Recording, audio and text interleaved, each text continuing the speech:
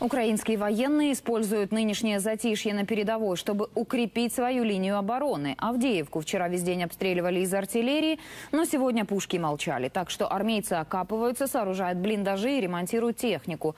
Побывал в стратегически важном населенном пункте Алексей Куделя.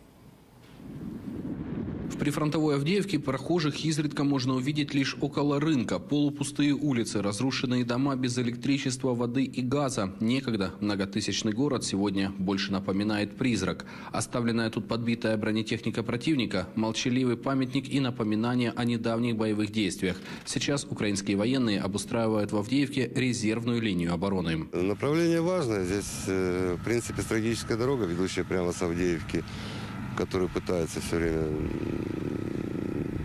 все забрать на Донецк. Так что, в принципе, позиция нормальная.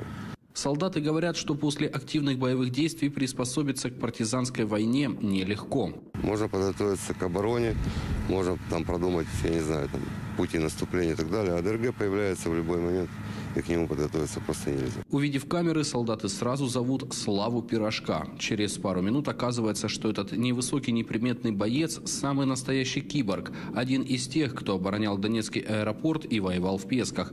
От всех отпусков отказался. Решил, пока не наступит мир и домой не вернутся все боевые товарищи, отдыхать не будет. Дають в отпуск мені, то все. Я своїми пацанами хочу стояти. Тяжка робота, ну.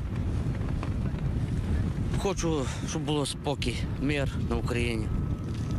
І все. Більше я нічого не хочу. В штабе АТО нам подтверждают, фронт стабилизировался, а количество обстрелов значительно сократилось. Тем не менее, в районе Авдеевки военные подготовили позиции для передислокации и маневра. Ми можемо маневрувати, війська можуть маневрувати, займати інші позиції, відповідно підготовлені спеціальні обладнані місця для пересування військ. Офицеры подчеркивают, об отступлении речь не идет. Свои позиции и города украинские силовики оставлять не собираются. Из Донецкой области Алексей Куделя, Валерий Рябченко. События. Канал Украина.